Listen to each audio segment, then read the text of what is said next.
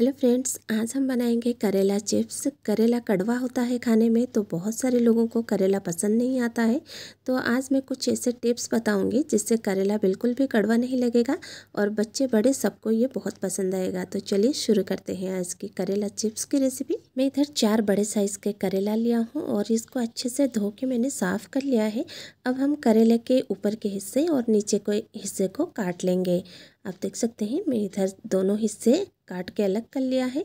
अब हम करेले को छोटे छोटे पीसेस में काट लेंगे। मैं इधर गोल गोल करके सारे करेले को काट लिया है। ध्यान रहे, हमें उसका ज़्यादा मोटा पीसेस नहीं करना है। थोड़ा सा पतला पतला पीसेस करके हमें काटना है। आप देख सकते हैं, मैं इधर सारे करेले को काट के रख लिया है।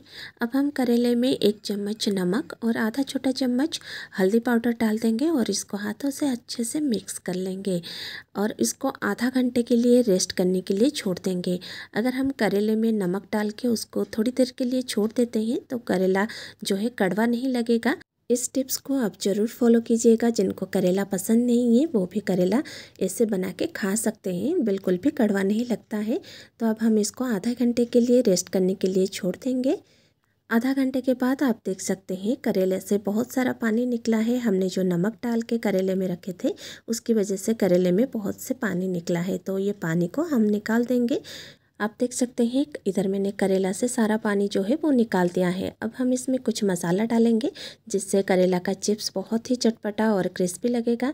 तो मसालों में मैं इधर लिया हूँ आधा छोटा चम्मच लाल मिर्च का पाउडर, एक चम्मच जीरा पाउडर और एक बड़ा चम्मच बेसन डाल दिया है। बेसन डालने से करेले में बहुत अच्छा सा एक बाइंडिंग आ जाएगा।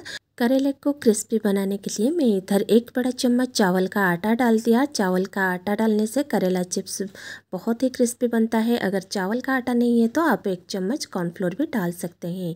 अब हम इसमें एक चम्मच सफ़ेद तिल डाल देंगे। तिल से करेला चिप्स जो है बहुत ही टेस्टी लगेगा और दिखने में भी बहुत अच्छा लगेगा। अब हम इसमें एक चम्मच आमचूर का पाउडर डाल देंगे। इससे करेला चिप्स बहुत ही चटपटा लगेगा। अब हम सारी चीज़ों को करेले के साथ अच्छे से मिक्स कर लेंगे, ताकि करेले के ऊपर ये अच्छे से कोट हो जाएगा। आप देख सकते हैं, इधर मैंने करेले के साथ अच्छे से सारी चीज़ों को मिक्स कर लिया है। अब हम इसको फ्राई करेंगे। तो दूसरी तरफ़ मैंने तेल को गर्म होने के लिए रख दिया था। तेल जो है मीडियम गर्म है। अब हम गर्म तेल में करेले को थोड़ा थोड़ा करके फ्राई कर लेंगे। आप देख सकते हैं, मैंने इधर थोड़ा थोड़ा करके करेले के पीसेस डाल दिया है। और इसको पलट के दूसरे साइड भी फ्राई कर लेंगे। ध्यान रहे, करेले को फ्राई करने के टाइम गैस की फ्लेम को हमें मीडियम टू हाई रखना है। जब तक करेला गोल्डन ब्राउन ना हो जाता थोड़ा सा क्रिस्पी नहीं हो जाता, तब तक हमें उसको फ्राई करना है। आप देख सकते हैं, मैं इधर करेले को अलटते पलटते हुए फ्राई कर लिया है। करेला जो है, इधर थोड़ा सा गोल्डन ब्राउन भी हो गया है और क्रिस्पी भी हो गया है। तो अब हम सारे करेले को एक प्लेट में निकाल देंगे। सेम प्रोसेस से बाकी का जो बचा हुआ करेला था, उसको भी हम फ्राई करके रख लेंगे। आप देख सकते हैं, इधर मैंने सारे करेले को फ्राई करके रख लिया है।